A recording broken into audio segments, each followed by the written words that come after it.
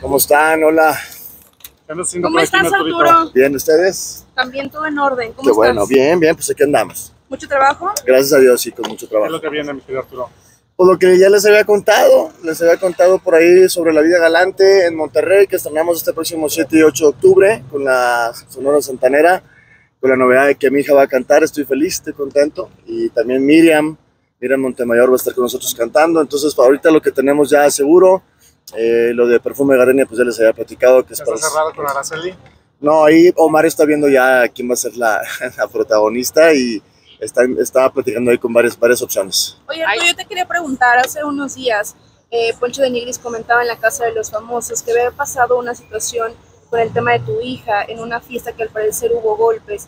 Eh, exactamente qué fue lo que sucedió. Sí, bueno, mi hija estuvo presente en la fiesta. eh, sí hubo ahí eh, una situación de riña, pero no, no, no fue directamente con mi hija ni con los familiares de Poncho. Eh, mi hija conoce familiares de Poncho, eh, en especial a Aldo, el hijo del hermano de Poncho, que es Aldo de Nigris. Tiene buena amistad, una cercanía, el novio de mi hija con ellos y mi hija también con ellos. Entonces, fue una situación que pasó hace alguno- algunos años. Fue lamentable porque sí fue una situación eh, que pasó más allá de unos simples golpes, pero afortunadamente, pues bueno, eso se aclaró desde hace mucho tiempo.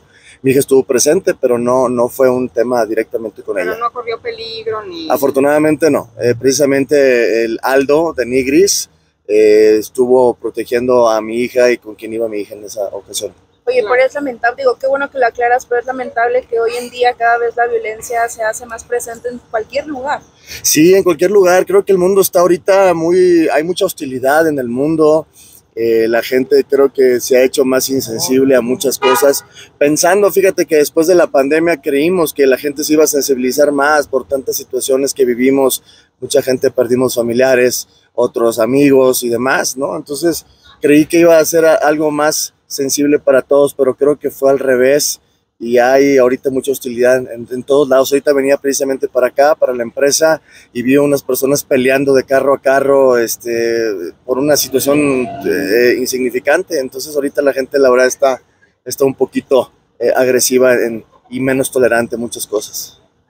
¿Cómo, ¿Cómo siguen cuidando precisamente a Melanie? Porque sabíamos que creo que tenía pues seguridad, ¿no? Creo que había personas que la Sí, cuidan, sí, que- sí, mi hija mantiene, mantiene, eh, hay unas personas que, que la acompañan a, a donde va, eh, tanto para la escuela como las cosas personales, está siempre mi hija, gracias a Dios que tenemos ahí un, eh, personas que, que la han estado custodiando desde, pues ya desde, mucha, desde hace mucho tiempo, desde chiquita.